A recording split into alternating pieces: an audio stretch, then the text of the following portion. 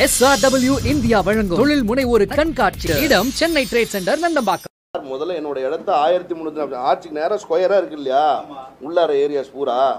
அதோட ஆர்ச்சியோட சேர்த்து அப்படியே ஃபுல் ஸ்கொயராக ஆயிரத்தி முந்நூற்றி நாற்பத்தஞ்சு சரடி என்கிட்ட ஃபஸ்ட்டு கேட்டாங்க.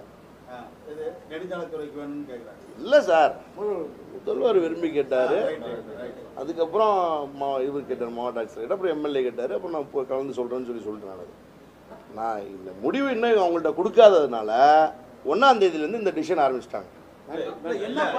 முட்டு போடுறது? ஆர்ச்சி மட்டும் கேட்டாங்களா? என்ன purpose-க்காக ஆயிரத்தி ரெண்டுமே கேட்டாங்க. ஆ.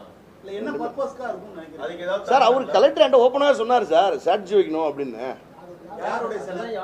அதான் தெளிவாக சொன்னேன் அவங்கள்ட்ட? மறைந்த தலைவர் கருணாநிதியோட செலவு வைக்கணும்னு சொல்லி கேட்டார். இதுக்கு முன்னாடி ஆட்சியை வந்து அடுத்த நாள் அண்ணா திராவிட முன்னேற்ற கழக ஆட்சி. இந்த மாவட்டத்தை சேர்ந்த முதல்வர் தான் எட அண்ணன் எடப்பாடியார் வந்து அவர் இந்த மாவட்டத்தை சேர்ந்தவர் தான். அவர் கூட எனக்கு வந்து இந்த ரெண்டு தலைவர்கிட்ட வந்து செலவழிக்கணும் அப்படின்னு என்கிட்ட கேட்டது கிடையாது. இதுதான் உண்மை. சோ இப்ப அவரோட சிலை வைக்க அவரோட சிலை மட்டும் வைக்கணுங்கிறாங்க எல்லாரும். ஆமாம் ஆமாம் அதான் அவங்களுடைய ரெக்குவயர்மெண்டா இருக்கு. சார் அந்த இடத்த கொடுக்கல அப்படிங்கறது தான் உங்களுக்கு ஹவுசிங் போர்டு மத்த இடத்துல அதுதான் டார்கெட் அதுதானே வேற என்ன? டூ தௌசண்ட் ஒன் ஆக்ட் படி என்ன சொல்லுது? பொது இடத்துல சிலையோ ரோட்டில் சிலையோ தலைவர்கள் சிலையோ எந்த சிலையோ எதுவுமே வைக்க முடியாது. முதல்ல புரிஞ்சுக்கணும்.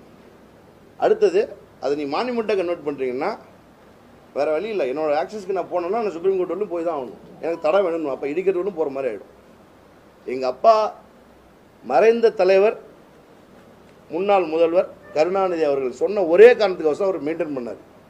அவரும் என்ன சொல்லியிருக்காரு? மூணு சிஎம் உருவாக்குனதுப்பா. தயவுசெய்து எனக்கு வசனம் வச்சுக்குப்பா அப்படின்ட்டு இருக்காரு.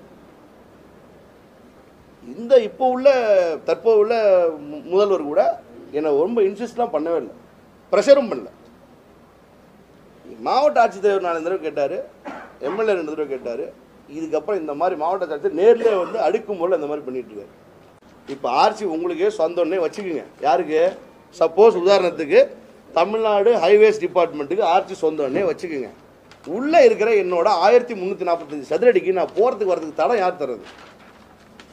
யார் சார் கொடுக்கறது? கேட்டை இழுத்து பூட்டு ஃபென்சிங் போடு அப்படின்லாம் சொன்னால் இது என்ன இது இது இந்த மாதிரி அடக்குமுறையை நான் எங்கேயுமே பார்த்ததில்ல. இது தமிழக முதல்வரோட கவனத்துக்கு இது போச்சா இது போலியா இது எதுவுமே தெரியாது. என் ஒய்ஃப் நேற்று சொன்னாங்க உயிருக்கே பயமாக இருக்குது யாரோ ஒருத்தர் வந்து ஆட்டோவில் வந்து வீடியோ எடுத்துகிட்டு போகிறாங்க இவங்க பேட்டி கொடுத்துட்டு இருக்கும்போது.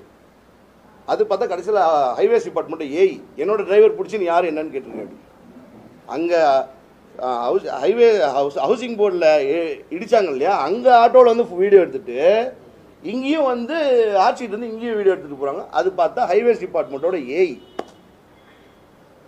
இதே ஹவுசிங் போர்டு சம்மந்தமான இடத்துக்கு நீ எதுக்கு வர? நீ ஹைவேஸ் டிபார்ட்மெண்ட்டு உனக்கு ஹவுசிங் போர்டுக்கும் என்ன சம்மந்தம் இருக்குது? அங்கே ரோடு வருதா? இல்லை. நீ எதுக்கு அங்கே போய் என் வீட்டுக்காரம்மா பேட்டி கொடுக்கும்போது எதுக்கு ஃபோட்டோ எடுக்கிற? வீடியோ எடுக்கிற? அதெல்லாம் பண்ணிவிட்டு அடுத்து இங்கே வந்து இங்கே எடுக்கிற. உயிருக்கே பயமாக இருக்குது நியாயமாக வைக்க போகணுன்னா டிஆர் சுந்தரம் சிலை வச்சா கரெக்டாக இருக்கும். பொருத்தமாக இருக்கும். அவர் தான் ஓனர் நியாயமாக அவர் சிலை தான் வைக்கணும். இவங்கெல்லாம் வேலை செஞ்ச ஸ்டாஃப் தானே சார் எல்லாருமே. எல்லா முதல்வர்களும் இங்கே சம்பளத்துக்கு வேலை செஞ்சவங்க. கரெக்டான விஷயம் தானே நான் சொல்கிறது இங்கே சம்பளத்துக்கு வேலை செய்த முதல்வர்கள் எல்லாருமே. அவங்கள தாக்கிடலாம்னு சொல்கிறேன் நான். கரெக்டாக உண்மையாக அவங்க சேலரிக்கு ஒர்க் பண்ணாங்க. இது ராசியான இடம்.